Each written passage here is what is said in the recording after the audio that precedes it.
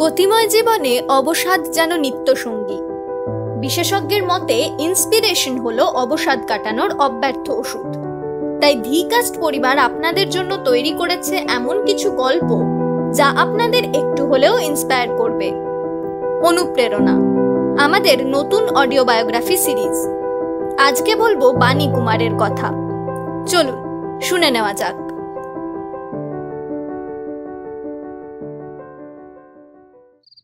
রাত আড়াইটে কি তিনটে? কলকাতা বোসপাড়া লেনে হঠাৎ হর্নের আওয়াজ। পিক আপ না ড্রপ কোনটা করতে এই গাড়ির আগমন? নাকি অন্য কোনো উদ্দেশ্য? না পিক আপ যিনি বেরোচ্ছেন খানিক্ষণ আগেই বাড়ি ফিরেছেন, স্টুডিও থেকে। আবার চললেন সেখানেই। লাইভ ব্রডকাস্ট আছে আর খানিক্ষণের মধ্যেই। আসলে ইতিহাসের পাতায় নাম স্বর্ণাক্ষরে রচিত হতে চলেছে। বাড়ি থেকে বেরোচ্ছেন ঠিকই, কিন্তু কেমন যেন একটা ঘোরের মধ্যে আছেন। স্ত্রী নিজের খেয়াল রাখার উপদেশ দিলেও সেই দিকে কোনো পাত্তাই নেই তার। তিনি চললেন আকাশবাণীর দিকে। আর কিছুক্ষণ। তারপরেই সম্প্রচারিত হবে ইতিহাস সৃষ্টিকারী বাঙালি জাতির কালজয়ী অনুষ্ঠান মহিষাসুর মর্দিনী।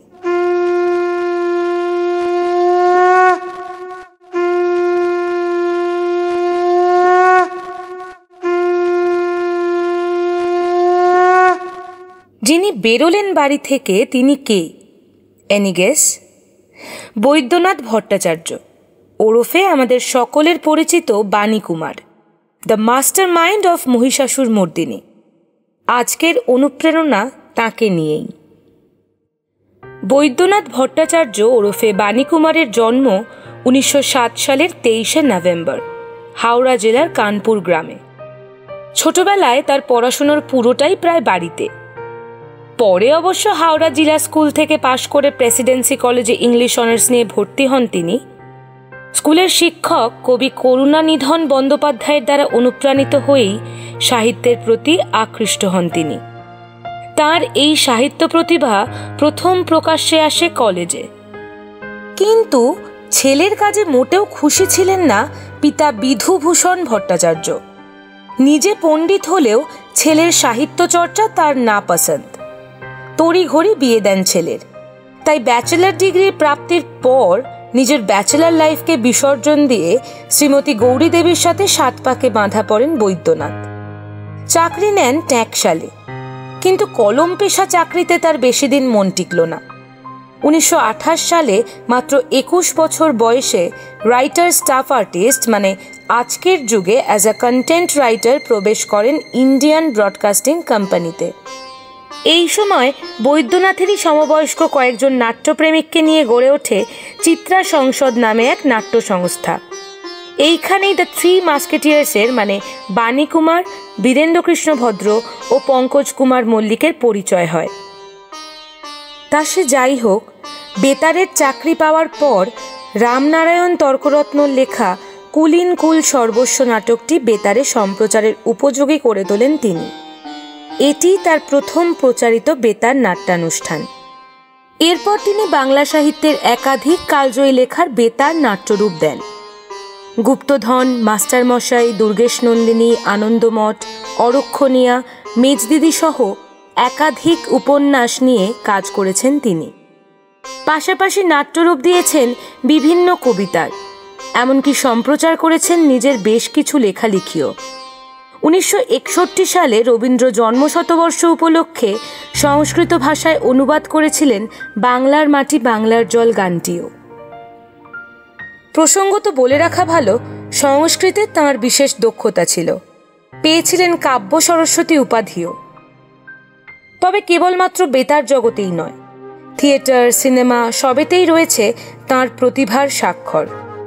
নিতিন বসু পরিচালিত ভাগ্যচক্র ছবিতে প্রথম প্লেব্যাক পদ্ধতি প্রয়োগ করা হয়। প্রথম প্লেব্যাক গানটির রচয়িতা ছিলেন খোদ বাণী কুমার এছাড়া কাজ করেছেন আরও একাধিক ছায়াছবিতে। অবশ্য থিয়েটারের সাথেও যুক্ত হয়েছিলেন একবার। বঙ্কিমচন্দ্রের একদা নিষিদ্ধ আনন্দমঠ সন্তান নাম দিয়ে মঞ্চস্থ করার পরিকল্পনা নেন তিনি। কিন্তু আজাদ পত্রিকা দাবি করে, এই নাটক হিন্দু মুসলিমে বিভেদ ঘটাতে পারে। তাই বাণীকুমার আর মঞ্চের দিকে পা বাড়াননি। পরে অবশ্য সম্পূর্ণ নাটকটি মঞ্চস্থ হয় এবং দর্শকদের প্রভূত প্রশংসাও কুড়িয়েছিল এই নাটকটি। তবে এই সব কিছুর মধ্যেও বাঙালির মন ছুঁয়ে গেছে মহিষাসুর মর্দিনী। তৎকালীন স্টেশন ডিরেক্টর দিলীপ কুমার সেনগুপ্তের মতে বাণী কুমার যদি আর কোনো কাজ নাও করতেন, তাহলেও শুধু মহিষাসুর মর্দিনীর জন্যই মানুষ তাকে মনে রাখত। বাণী কুমার নিজে অবশ্য বলেছেন, মহিষাসুর মর্দিনী আমার প্রথম যৌবনের রচনা।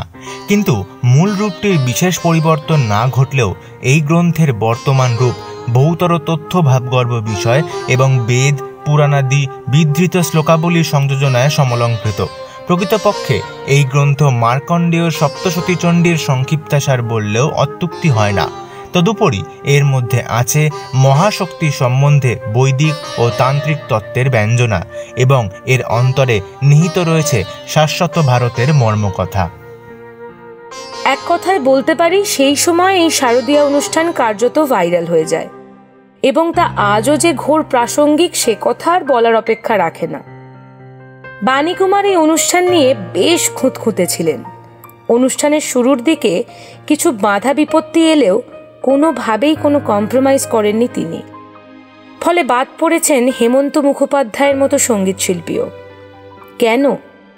তা নয় অন্য একদিন বলব। নিজের ও তাঁর সহকর্মীদের প্রতি আস্থা রেখেই এগিয়েছেন তিনি।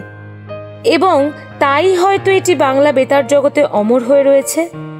উনিশশো চুয়াত্তর সালে স্বাধীনতা দিবসের দিনে পরলোক গমন করেন বাণীকুমার। কিন্তু তারপরেও এতটুকু বিকৃত হয়নি এই অনুষ্ঠান। মহালয়ার পুণ্যতিথিতে আজও এই অনুষ্ঠান প্রাতঃস্মরণীয়।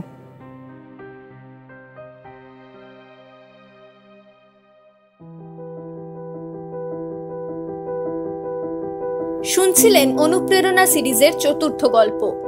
গল্পের মূল ভাবনায় গৈরিক সাহা। গল্প পাঠে অঙ্কিতা চক্রবর্তী, গৈরিক সাহা। গল্পের সূত্রধর সময়িতা ঘোষ। আবহ সংগীত ও মিক্সিং ময়ূক ঘোষ। আজ এই পর্যন্তই। আবার দেখা হচ্ছে আগামী বুধবার নতুন এক অনুপ্রেরণার গল্প নিয়ে। ততদিন সঙ্গে থাকুন।